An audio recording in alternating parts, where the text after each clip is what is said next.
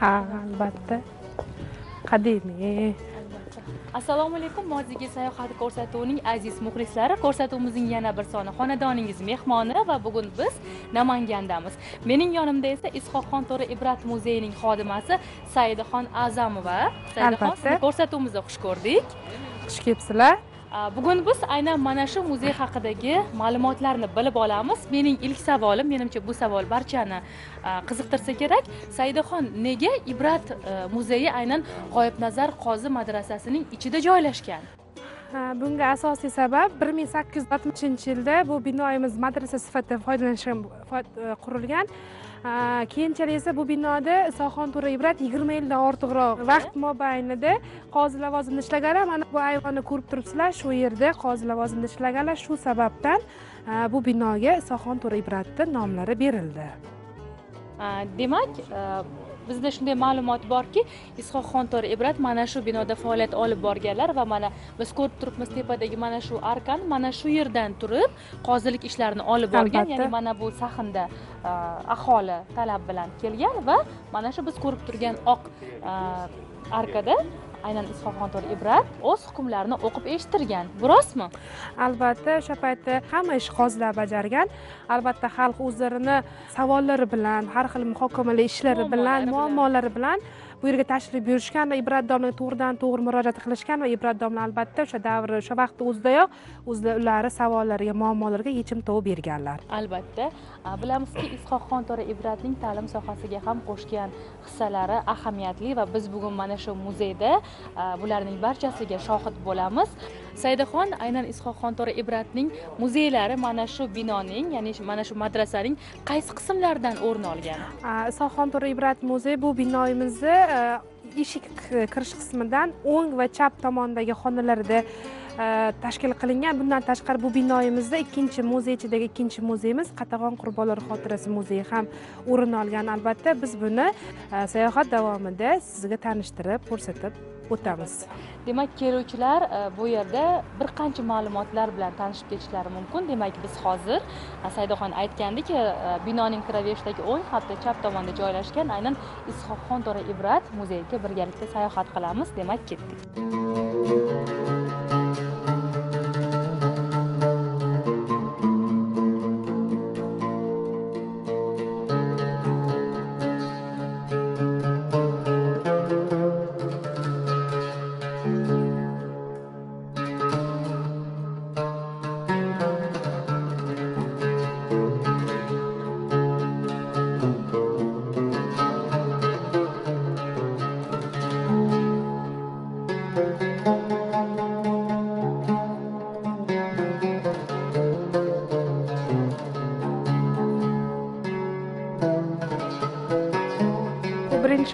Xonamizda sog'on to'ra ibratni tug'ilishlari ular qilgan ishlari to'g'risida batafsil ma'lumotlar olamiz.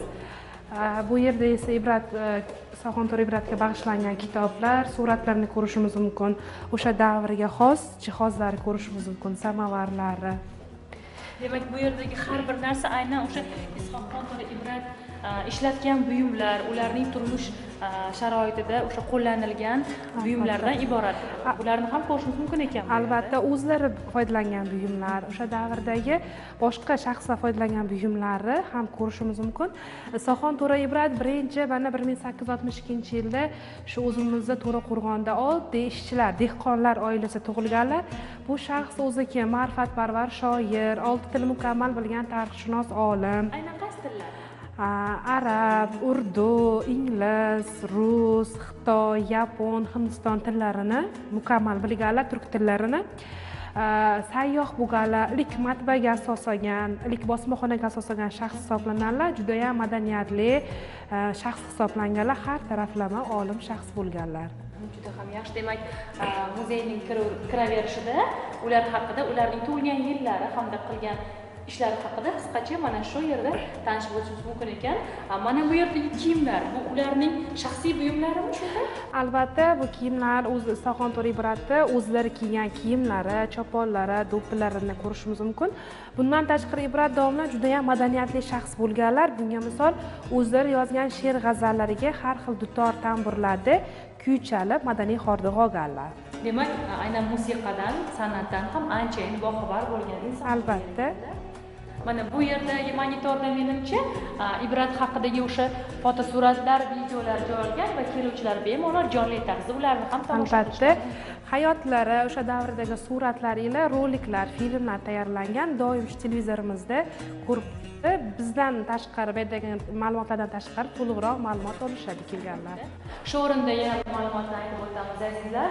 Aynan is'hoqxon to'ra ibratga bag'ishlab yaqinda o'zbek kinoijodkorlari juda ham chiroyli film suratga olishdi. Bu filmda a, ibratning tutgan hayot yo'li hamda mana shu faoliyatni olib borayotgandagi eng qiyin jarayonlar mashaqqatlar ham juda ham chiroyli tarzda ochib berilgan. Menimcha mana shu kino ijodkorlariga mana shu muzeydagi mutaxassislar hamda bu yerdagi buyumlar ham yaqindan yordam bergan bo'lsa kerak. Albatta o'sha e, kino olish jarayonida har xil maslahatlar har xil ma'lumotlar kelishgan biz qo'limizdan kelganicha ma'lumotlar olib ularga havola yordam berganmiz mana bu yerdagi kitoblar bu yerdagi buyumlar haqida nima deysiz? Bu o'sha to'ra o'zlari foydalangan kitoblari mana bu esa ibrat domla tomonidan qo'lyozma qabrtoshi ham o'zlari yozganlar. Husni xatlari ham juda chiroyli bo'lgan. O'zlarigacha bo'lgan davrdagi ajdod avlodlariga tasnif bergan qabrtoshlari. Dadalariga atab yozilgan qabrtosh. Mhm.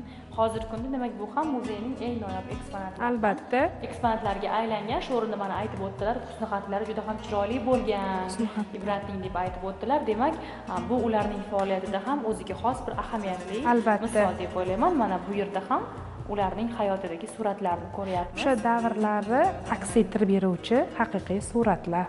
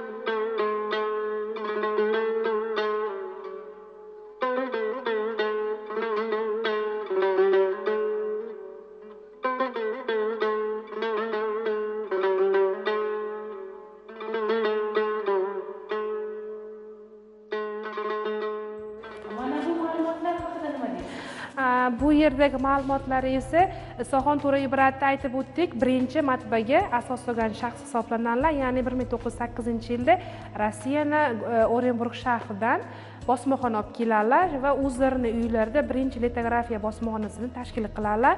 Bu sadoy turkiston sadoy farg'ona gazetalari shu matbai ishoqida chop etilgan gazeta va jurnallardan e, asl nusxasidagi namunalar keltirilgan. Demak azizlar bu o'rinda e, ibratning ta'lim sohasiga qo'shgan eng katta hissasini ko'rish mumkin ya'ni ular aynan matbaaga ya'ni noshirlikka Albatta, albatta.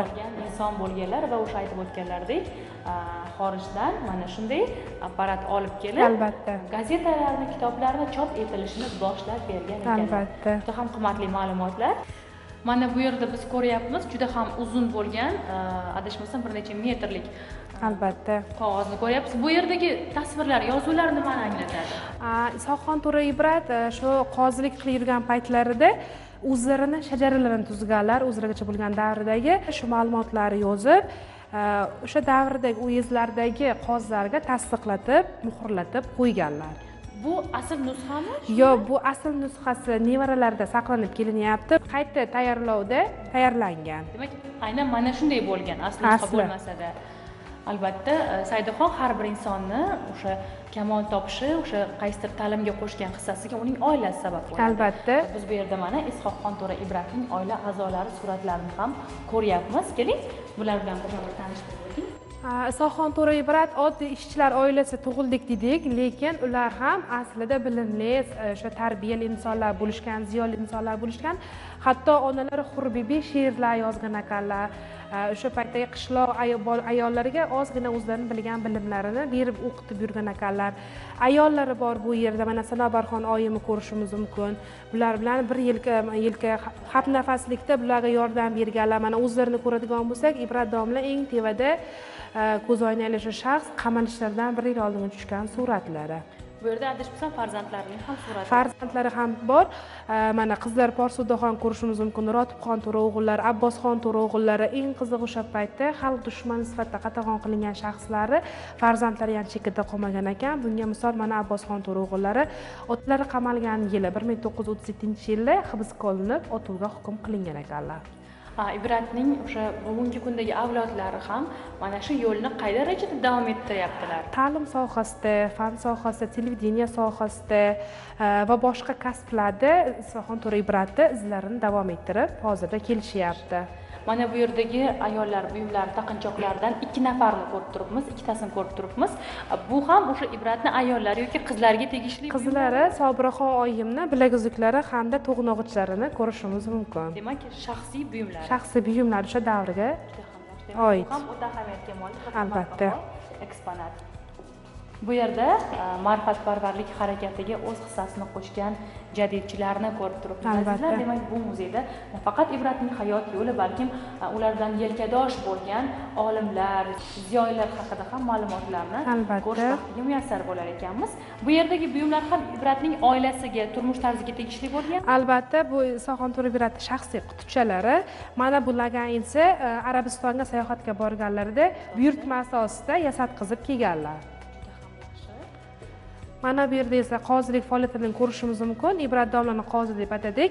Bu yerda o'rta qatordagi shaxs o'sha sohonto'ra ibrat. Mana bu qog'ozlar esa yer mol mulkni notarial qog'ozlari hujjat qog'ozlari ham ko'rishimiz mumkin. Ya'ni o'sha ibratning qozilik faoliyatidagi rasmiy hujjatlar ham bu yerda saqlanib keladi. ibratning qozilik faoliyatidan biror hikoyalar ular qanday hukm o'qigan? O'sha adolatli hukmlardan biror bir hikoyalar bugungi kungacha yetib kelib? Yo'q to'liq yetib kelmagan bizga. Chunki o'sha paytda ular hujjatlari uylardagi kitoblar hammasi hibsga olingan paytlari o'zlari bilan qo'shib olib ketilgan ekan. Andijon turmasiga olib ketilgan ekan sohonto'ra ibrati sayohatchi deb atadik. Mana bu yerda bunga misol mana to'raqo'rg'on orqali xaritada qayerga borganlarini qizil chiziqlar orqali ko'rsatib qo'yilgan.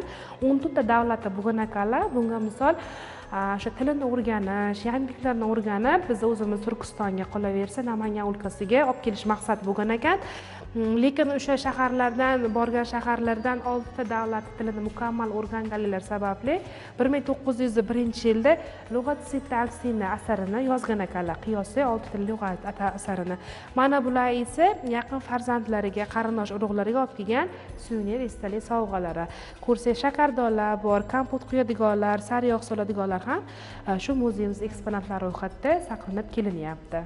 Mana o'sha bu muzey barpo etilayotgan tashkil etilayotgan paytda aynan ibratning avlodlari tomonidan mana shular muzeyga topshirilgan. Albatta hammalari bizga yordam berishdi shu muzey tashkil qilishda o'zlarida saqlanib qolgan buyumlar har xil materiallar kitoblari bizga taqdim qilishdi va muzeyimiz fondini kengaytirishda yordam berishdi bu yerdagi e, ma'lumotlarda esa ishoqxon to'raibratning g'azallarini biz ko'ryapmiz.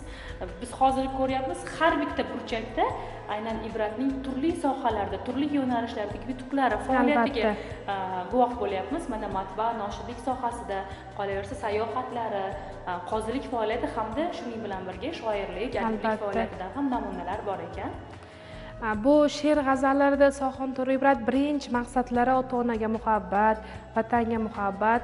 Keyingi o'rinda ilm oling hunar o'rganing da'vat mazmunida she'rlar yozgan ekanlar oddiygina bitta g'azallarni keltiradigan bo'lsam ziyola yuraman desang dunyoda ilm ol hunar o'rgan qolmaysan piyoda. Bunda ham mana ilm oling hunar o'rganing mazmunida da'vat she'rlar keltirilyapti. Juda ham ma'noli. Haqiqatdan ham hunar ilm albatta. albatta yuksaklarga parvoz qiladi albatta. Demak bu yerda adashmasam aynan ibratning haykali. Haykali ular doim qo'llarida kitob daftar qalam bo'lgan bunda tasvirlangan. Mana haykaltaroshlarimiz tomonidan yasalgan haykalimizda ham ko'rish mumkin qo'llarida kitob aks ettirilgan. Mana shu ibrat muzeyiga yondosh xiyobon aynan ibrat xiyoboni. Albatta. ibrat nomiga ochilgan xiyobon ekan. Bu yerda ham haykallari bormi? U yerda ham juda ham baland haykallari. Bundan tashqari ark ayvonlar bor. Ayvonda esa shu isoxon to'ra ibratni g'azallari she'rlari bildirgan fikrlari hammasi yozib qoldirilgan.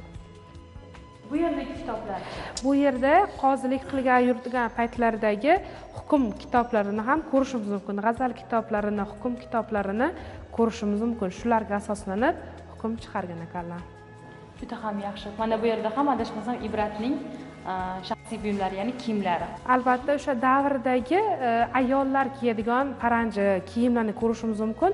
Aynan ayollarniki emas bu o'sha davrdagi ayollarni kiyimi hisoblanadi. Albatta. Va bugungi kunda mana hozir aytib o'tdik bugungi kunda ham ibratning e, avlodlari mana shu ziyo yo'lini davom ettirib e, turli faoliyatda davom etmoqdalar ekan va mana ularning bugungi kundagi avlodlarining suratlari ham demak bu yerdan joy olgan. Albatta ularni hozir urug'lari ya'ni hozirgi qarindoshlari avlodlari andijon viloyatida namangan tumanida qolaversa e, mana to'raqo'rg'on o'lkasida tumanda hamda malakudin qishlog'ida nevara evaralari ular izlarini fan sohasida televideniya sohasida ta'lim sohalarida izlarini davom ettirib kelishyapti. Mana bu yerdagi monitorda ham menimcha e, ibrat haqidagi ma'lumotlarning elektron nusxalari albatta. joy olgan bo'lsa kerak. Har bitta o'quvchi kelib bu yerda ibrat domlani o'sha adabiy ilmiy meroslar to'g'risida hayot faoliyati to'g'risidagi ma'lumotlar to'liq shaklda olishadi demak mana e, bu yerda ko'rib turibmiz. Hozir operatorimiz buni yaqindan ko'rsatadilar. Demak bu yerda asosiy sahifa is'hoqxon to'ra ibratning adabiy hamda ilmiy merosi. Bu yerdagi o'sha elektron nusxa elektron e, katalog deymiz ikkita bo'limdan iborat ekan. Biri is'hoqxon to'ra ibrat hayoti va faoliyati ikkinchisi e, uning adabiy va ilmiy merosi. Keling biz hozir adabiy va ilmiy merosini o'rganishga harakat qilamiz. Mana bu yerda o'sha muzeyda ko'rgan e, narsalarimizni barchasi suratlarda ajoyib dizayn tarzida aks etgan ekan. Mezon uz zamon. Zamon tarozisi nomli kitoblar sahifasi. Hayotiy faoliyatlari haqida ham mana ularning e, biografiyalari keyingi betlarda suratlar. Demak e, mana shu muzeydagi barcha eksponatlar haqida ham bu yerda ma'lumotlar to'liq ma'lumotlari o'qish imkoniyati ham mavjud tinglagandan tashqari o'quvchilar kelgan har bir sayyohlar bemalol o'qib foydalanishadi demak saidaxon biz muzeyning birinchi xonasida ibrat haqidagi umumiy ma'lumotlarga qisqacha ega bo'ldik. Albatta. Keyingi xonalarda nimani ko'ramiz? Keyingi xonalarda sohilto'r ibrat o'zlarini mablag'laridan ochgan yangi usul maktablarini bundan tashqari ibrat domlani to'liq qatag'on qilinishlari to'g'risidagi va qolgan ishlar to'g'risida ma'lumotlar keltirilgan. Kiraverishda ham yana suratlarni ko'rishimiz mumkin. Sohonto'r ibrat sayohatchi bo'lganlar dedik. Mana bu suratda esa shu sayohatda yurganlari shu litografiya uskunasini bosmaxona uskunasini olib kelayotganlar ya'ni o'shanda orenburgdan qo'qongacha poyezdda qo'qondan to'raqo'rg'ongacha tuyalarda olib kelganlar shu narsa aks ettirilgan demak hayotlaridagi eng muhim jarayonlar mana shu suratlarda muhrlangan ekan bu suratni kim chizgan tohirjon ashurov ismli shaxs rassom chizib berganlar ikki ming o'n sakkizinchi yilda o'z qo'llari bilan demak muzeyga sovg'a qilgan sovg'a qilingan. Bu yerdagi qo'lyozma deymizmi buni? Qo'lyozmalar nimani aks etib turibdi? Bu sohon to'ra ibrat o'zlarini uylarini bog' tashkil qilganlar. Farzandlari tomonidan shu bog'lar taqsimot bo'lib ketmasdan oldin chizmasini chizib qoldirishgan. Bir ming to'qqiz yuz oltmishinchi yillarda chizilgan chizma bog'i chizmasi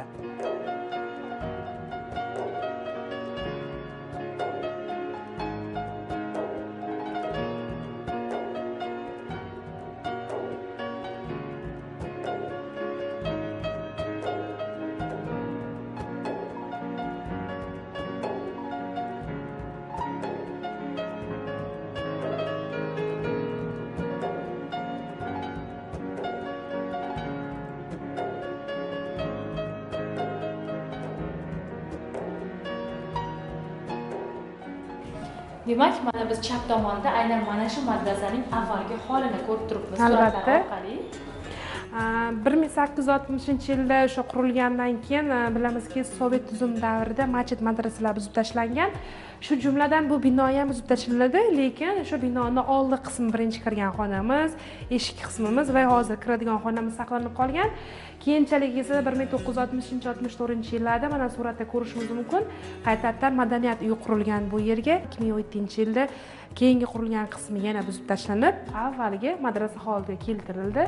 Oldingi suratlarini ko'rishimiz mumkin demak bu bino yillar davomida turli xil maqsadlarda ya'ni aynan mana shu madaniyat va san'at maqsadlarida Albatta. ekan bugungi kunda esa a, madrasa o'sha asl holiga keltirilgan ibratning faoliyat olib borgan xonalarigacha hali biz buni ko'rsatuvimiz davomida Albatta. ko'ramiz ularning shaxsiy buyumlari hali bizni kutmoqda. Ularni ham saidaxon bizga tushuntirib beradilar. Juda. keling keyingi qismga o'tamiz keyingi xonaga o'tamiz. Bu xonamizda ham mana ko'rsa juda yam shinam keng xonalar. Birinchi o'rinda mana bu maketga e'tiboringizni qaratishni so'rayman soxon sohon ibrat aytdik judayam madaniyatli shaxs bo'lganlar didlar judayam nozik bo'lgan sayohatga borgan davlatlardan turli xil manzarali mevali daraxtlari olib kelib shu o'zlarini uylarida bog' tashkil qilganlar va bog'ni nomini ham o'zlariga bog'i sihoqi deb nomlagan ekanlar o'sha paytda. Landshaft dizayn ham birinchi bo'lib shu sohon ibrat o'zlari yaratgan ekanlar bog' landshaft dizaynini yashash uylari ayvonlari bu ayvonda bilamizki biz bilgan taniqli shaxslar bilan mushoiralar suhbatlar o'tkazilgan. Mana bu yerda esa fontan ko'rishimiz mumkin. Bu fontan o'sha davrdagi turkiston o'lkasidagi qolaversa namangandagi birinchi fontan shu bog'i ishoqida bo'lgan ekan. Demak a, namangandagi ilk favvorani ham aynan ishoq Albatta. o'z bog'ida barpo etdi albatta mana bu bino esa bir ming to'qqiz yuz yettinchi yilda isoxon to'raibrat o'zlarini mablag'laridan qishloq bolalarini ta'lim olish uchun yangi maktab ochadilar va maktabni nomini usuli savfiya deb nomlaydilar ya'ni yangi usul maktabi hozir qanday fanlar o'tilgan bo'lsa o'sha paytda ham shu fanlar shu maktabda o'tilgan. Bular hammasi zamonaviy ko'rinishda haqiqiy ko'rinishda birinchi oynamizdagi suratda ko'rishimiz mumkin. Demak bu xiyobon bu bog' bugungi kunda ham faoliyat yuritadi. yo'q hozirda bu xiyobon bo'lim bo'lim bo'lib ketgan yo'q bo'lib ketgan qismlari ham bor. Hozirda aynan saqlanayotgan qismi mana bu binoni kirish qismi darvoza fasad qismi hamda mana bu fontani qirg'oqlari saqlanib qolgan. O'zlari foydalangan mana hassalarini ko'rishimiz mumkin soatlarini ko'rishimiz mumkin tugmalarini ko'rishimiz mumkin o'zlarini shaxsiy buyumlari. Ha, bu yerda mana ko'rsak e, yog'och kosalarini ko'rishimiz mumkin ibrat domlani. Ajoyib o'sha paytda ovqat ichishgan ekan judayam salomatlikka foydasi katta bo'lgan ekan menimcha bunday idishlardagi a, ovqat sovimaydi Albatta. holida turaveradi shuning uchun ham ahamiyatli. Mana bu yerda menimcha o'sha yo'l e, safarlarga chiqqan paytdagi jamadonlari jamadonlar albatta. Ko'rsa mana bu yerda qo'lyozmalarini ko'rishimiz mumkin. Mana kitoblarda namunalar keltirilgan sayohatga borgandagi ma'lumotlar yozilgan qog'ozlar ham hozirda saqlanib kelinyapti Э, demak meni hozir e'tiborimni tortgan yana bir narsa bu yerdagi aynan ibrat qalamiga mansub aforizmlar va keling hozir tomoshabinlarga ham birozgina ulardan o'qib beramiz. Har kishi ish ishlasa doim ishi xursandlik ishlamaslar o'z boshiga urg'usi tig'i battar. Yana biri yozing ilmi axloqu fanni maqol. O'qib bilsin ibrat olib bilmagan. Э, bu yerda ham ko'rib turibmiz ibrat э, juda ham keng qirrali serqirrali inson bo'lgan va aynan yoshlarning ilm olishiga bag'ishlangan ularni ilm olishiga da'vat etuvchi ko'plab aforizmlarni ko'rishimiz mumkin. Albatta bu aforizmlardan a, biz teledasturlarda ham foydalansak bo'ladi qolaversa hayotda ham bular bizga ancha tajriba maktabini o'taydi. Albatta. Hozir yuqorida ham bir e, aforizmlarni keltirib o'tdilar.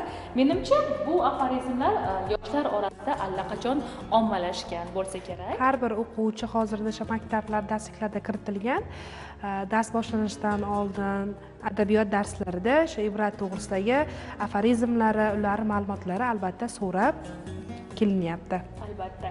E, shuning bilan birgalikda ishoqxon to'ra ibratning pedagogik faoliyati ham e, bu yerda aks ettirilgan ekan. Ya'ni ular shunda yoshlarga ham ilm berganlar. O'zlari dars berganlar har sohadan o'sha jug'rofiya fanidan ximiya fanidan bergan bo'lishlari mumkin. Mana ko'rsak jismon tarbiya darslari. Hozirda qanday fanlar o'tilayotgan bo'lsa o'sha paytda ham shu fanlar hammasi o'tilgan. Yana bitta qiziqarli fakt yaqinda biz shu avlodlar tomonidan eshitdik. Rus tilini fan sifatida kirgizgan ham isoxon ibrat hisoblanar ekanlar. juda ham yaxshi. Shuning bilan birga biz hozir mana shu muzey xodimlari bilan suhbatlashish jarayonida shuni ham bildikki ishoqxon tora ibrat eski maktablarni yangi holiga keltirishda ya'ni o'sha o'quvchilarga qulay holatda keltirishda ham juda katta hissa qo'shgan ekanlar va mana bu yerda aynan yangi maktabda ta'lim olayotgan o'quvchilar hamda ibrat aks etgan.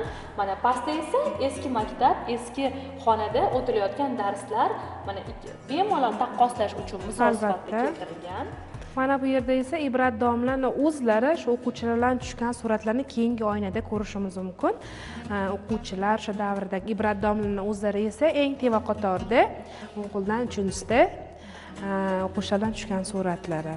Albatta shuning bilan birga mana boya ham aytib o'tdik ibrat va jadidchilik harakati bu bir biriga juda ham yonma yon albatta. Chunki ibrat ham aynan jadidchilik harakatiga hissa qo'shgan xalqimizni ziyoli bo'lishiga hissa qo'shgan munavvar qori abdurashidxon abdurauf fitrat shuningdek ashurali zokiriy kabi ko'plab ziyolilar bilan bir safda xizmat qilib xalqimizga ziyo ulashishdan charchamagan.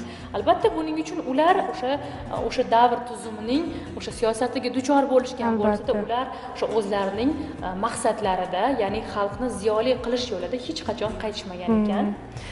Mana bu yerda tarjimon gazetani ko'rishimiz mumkin. Rossiya gazetasi bu. Ibrat domla mana hozirgi kunda judayam mashhur shaxs hisoblanadi qolaversa o'sha davr o'zidayoq judayam mashhur taniqli bo'lganlar. Bunga misol mana tarjimon gazetasida ibrat to'g'risidagi maqolalar o'sha davr o'zidayoq chop ettirilgan ekan juda ham yaxshi. Mana bu yerda ham kitoblarni ko'ryapmiz. Bu hozir aytib o'tgan usuli savtiya nomli maktabimizda o'tilgan darsliklar ilmiy ximiyo kitobini ko'rishimiz mumkin jug'rofiya kitoblari adabiyot hamda on tili kitoblarini ham ko'rishimiz mumkin. O'sha davrni haqiqiy kitoblari. Aynan ularni o'sha ko'p fanlardan talabalarga o'quvchilarga dars bergan dedik va jug'rofiya fanidan ham dars bergan ekanlar bugungi kundagi geografiya darsligi. Albatta. Va boya aytib o'tdik ibrat aynan sayohatlarga ham juda ko'p chiqqan ekanlar va aynan ularning sayohatlari bilan aynan mana shu o'quvchilarga ilm beradigan jug'rofiya bir biri bilan yonma yon va o'ylaymanki ularning sayohatlari aynan mana shu fanni o'quvchilarga yetkazishda juda qo'l kelgan bo'lishi mumkin o'zlari o'sha borgan mamlakatlar haqida aynan mana shu darslarda hikoya qilgan bo'lsalar ajab emas. Bu yerda esa ibrat domlani ilmiy adabiy meroslarini ko'rishimiz mumkin. Mana yozuvlar jamlanmasini mana aytib o'tgan lug'at sitta al sin asarini ko'rishimiz mumkin Э, zamon tarozisi eng qizig'i o'sha paytda tarixi madaniyat hamda tarixi farg'ona asarlari hali yakuniga yetmasdan isoxon ibrat xalq dushmani sifatida qatag'onga uchraylar. Va o'zlari bilan shu yozgan asarlari qolaversa boshqa taniqli shaxslar asarlari ham olib ketiladi.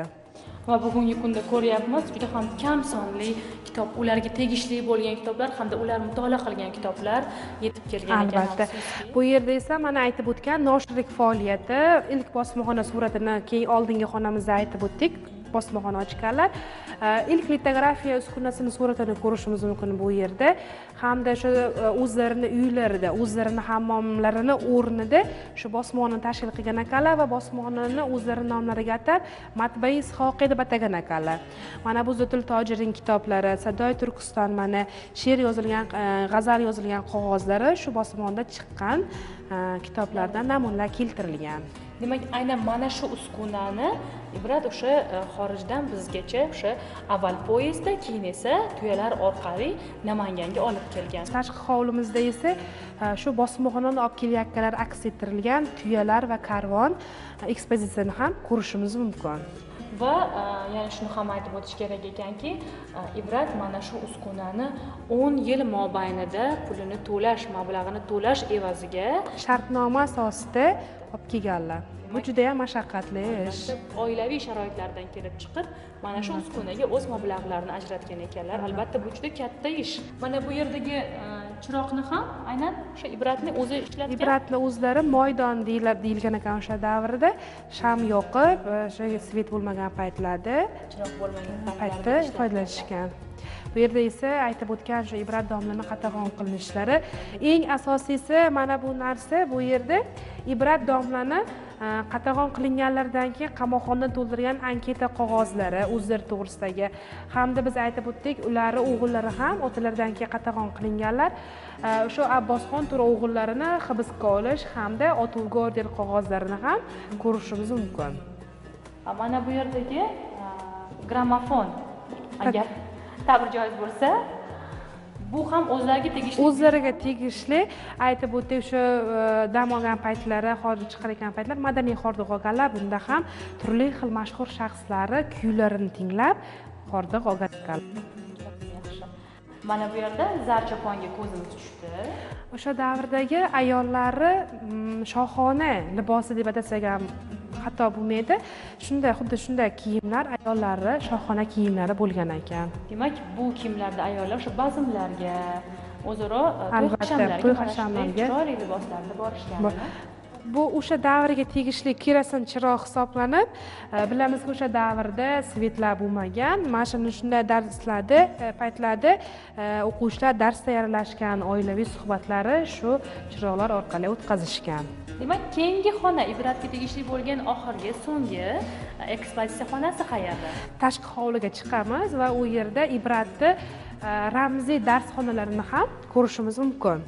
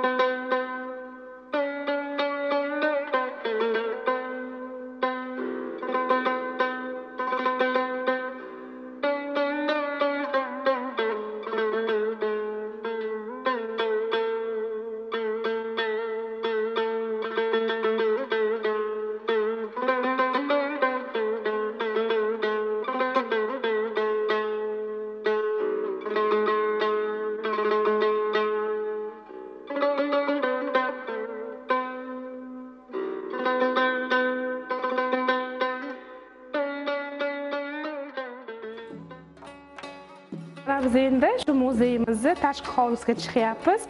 Mana biz turgan joydan bu tomoni qaytadan qurilgan qismi.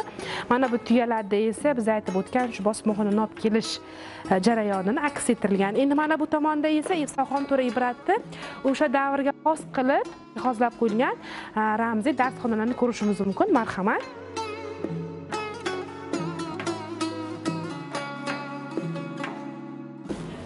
Yuring marhamat. Ibrat domlamizni ramziy xonalari. Juda ham chiroyli. Mana ko'rsangiz judayam o'sha davrni eslatadigan holat. Ibrat domlani o'zlari foydalangan buyumlari. Mana yana ko'rsak dutor tamburlar naylar ko'rishimiz mumkin mana bu yerda esa mana o'zlari foydalangan samovarlari piyolalarni ko'rishimiz mumkin. Demak mana shu e, piyolalar aynan o'zlarini shaxsiy buyumlari shaxsiy ro'zg'orda ishlatgan buyumlar. albatta hammasini o'zlari shaxsiy ro'zg'orda ishlatgan qo'l bilan ishlab ham ko'rishingiz mumkin. Albatta shu tarixiyligi bilinadi. Mana yana shu ibrat domlani sayohatlardagi suratlarni ko'rishimiz mumkin. Bu yerda asosiy bitta narsa bor. Ibrat domlamizni muzlatgichlarni ko'rishimiz mumkin. Eng asosiy narsa bu yerda ibrat domla o'zlari ixtiro qilganlar. Lekin buni o'sha bir ming sakkiz yuz to'qson ikkinchi yil bir ming sakkiz yuz to'qson sakkizinchi yillarda hindistonda safarda bo'lganlar. O'sha yerdagi ustalarga yasatqizib kelganlar. Aytib o'tdik yozgi hovlilari bor edi. Yozgi hovlilarda fontan bo'lgan dedik bu xolodilnik mana bu yeriga mm, tog'lardan qirlardan muz kelib solingan ekan. Mana bu yerga esa suv quyilgan ekan. Endi mana bu yerda esa tuynuklari ko'rishingiz mumkin. Demak bu yerda muz hamda e, suv saqlangan bo'lsa oziq ovqat mahsulotlari qayerda saqlangan? Oziq ovqat mahsulotlari mana bu yerda saqlangan demak mana shu o'rtadagi e, muzdek suv hamda muzning natijasida mana bu yer hamda mana bu ikkita xonachalarda saqlanayotgan oziq ovqat mahsulotlariga ta'sir o'tkazib ular o'zini sifatini yo'qotmagan. Shundaymi o'sha davrdagi birinchi to'ksiz ishlaydigan muzlatgich hisoblanadi. E, muzlatgichni ham ular o'sha sayohatlari davomida xorijiy mamlakatlarda ko'rib mana shunday fikrga g'oyaga e, albatta. kelgan bo'lishlari ajab emas. onalari xurbibi og'ir o'pka kasal bo'lganlar onalariga yaxshi sifatli oziq ovqat berish maqsadida ixtiro qilganlar. Shuning uchun ibrat domlani birinchi mexanik deb atasak ham xato bo'lmaydi. Albatta. Hozir biz ibratning o'sha bir necha ya'ni bu fizika sohasiga oid kimyo shuningdek geografiya sohasi ona tili adabiyot sohalaridagi hissalarni ham ko'rdik va meni juda ham mana shu muzlatgich hayratga soldi. Aynan muzlatgichning eng sodda ko'rinishi ya'ni inson shunday qudratga egaki agar u o'zini o'sha aqliy salohiyatidan maksimal darajada foydalansa albatta juda katta kashfiyotlarni qila olishiga o'sha paytda ham qila olganiga mana shu muzlatgich yaqqol misol bo'la oladi. Va mana bu yerda biz e, ibratning hayotiga oid bo'lgan suratni ham ko'ryapmiz. Bu aynan hayotining qaysi qismidan lavha? Bu rossiyadan kelayotganlar o'sha bosmaxonadan olib kelayotganlari kitoblari yangi usul maktablar ochgan kitoblar bor o'shalar olib kelayotganlari. Ibrat domla aytib o'tdik maktab ochganlar dedik. Shu maktabga chetdan rossiyadan qolaversa hindistondan fanlar bo'yicha kitoblari o'quv qurollari darsliklari olib kelayotganlarini ko'rishimiz mumkin. Juda ham yaxshi demak e, saidaxon e, uy ro'zg'orida ishlatgan va e, o'zlari ishlatgan barcha buyumlar demak aynan ibratning o'ziga tegishli.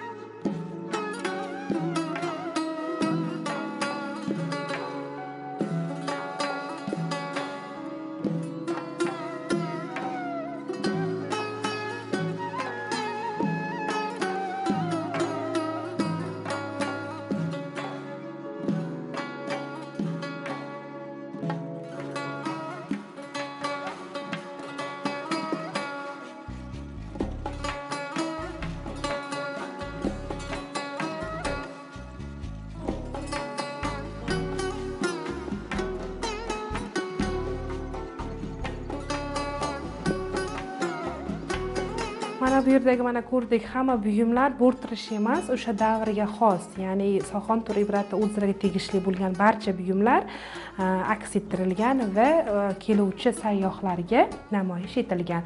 E, xohlasangiz mana ushlab ko'rishingiz mumkin buyumlardan meni bu muzeydagi o'sha eng katta taassurotlarimni boyitgan eng katta ekspozitsiya aynan mana shu xona bo'ldi va bu xonadagi har bir buyum mana shu bizning o'sha rivojlanishimizga katta hissa qo'shgan albatta ibratning shaxsiy buyumlari ekanligi meni hayratimni oshirdi albatta muzlatgich qolaversa mana samovarlar choynak piyolalar va bu yerdagi har bir buyum aynan ibratning va o'sha davrning turmush tarzidan bizga hikoya qilar ekan albatta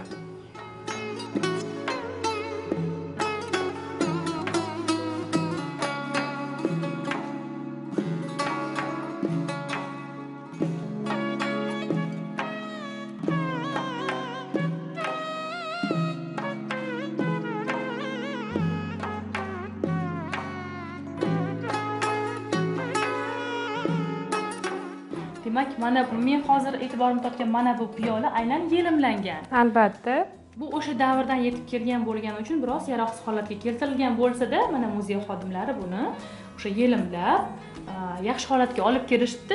Bu yerda arab yozuvlarida albatta. hindistondan olib kelgan piyolalari farzandlar tomonidan saqlanib kelinayotgan ekan. Mana hozirda muzey ekspozitsiyasi saqlanib kelinyapti yaxshi. Mana bu samovarni ham aynan ibratning o'zi ishlatgan shunday. Albatta. Mana bu esa o'sha mevadorlari ko'rishimiz mumkin. Toza alyumindan qilingan mevadorlari bularni yo'qolmay mana shu davrgacha yetib kelgani o'zi katta ahamiyatga ega bo'ladi menimcha. Albatta. Mana bu yerda ko'rsak mana dutorlarini ko'rishimiz mumkin naylarini ko'rishimiz mumkin. Judayam madaniyatli dilli odam bo'lgan ekanlar o'sha she'riyolariga g'azallariga dutor tambirlari kuy bastalari o'sha davrda farzandlariga qolaversa nevaralariga dalda berib ovutib o'tirgan ekanlar demak a, biz aytib o'tdik har tomonlama serqirra o'sha hayotda ham oilaparvar insonparvar shuning bilan birga ilmga ham katta hissa qo'shgan inson ekanliklarini ko'rib turibmiz. To'g'risi bu xona yana aytib o'taman bu xona menda juda katta taassurotlarni uyg'otdi. Sizga o'z vaqtingizni ayamay mana shu muzeyning har bir burchagi bilan tanishtirib e, katta ma'lumotlarni ulashganingiz uchun saidog'on sizga o'z minnatdorchiligimizni bildiramiz va albatta keluvchilarni aynan is'hoqxon to'ra ibrat muzeyiga chorlab qolamiz. Bu yerda siz ibratning e, shaxsiy buyumlari hayotiga oid bo'lgan lavhalarni mana shunday eksponatlar misolida jonli tarzda ko'rish imkoniga ega bo'lasiz demak azizlar biz ayni damda moziga sayohat ko'rsatuvining yana bir sonini yakunlamoqdamiz hamda eslatib o'tamiz. Ushbu son maxsus son aynan namangan viloyatining to'raqo'rg'on tumani yangiobod ko'chasida joylashgan ibrat muzeyidan olib borildi va ushbu ko'rsatuvni suratga olish uchun bizga yaqindan yordam bergan saidaxon a'zamova hamda muzeyning barcha mutaxassislariga o'z minnatdorchiligimizni bildiramiz. Demak manzil aniq sizni ham ushbu muzeyda kutib qolamiz.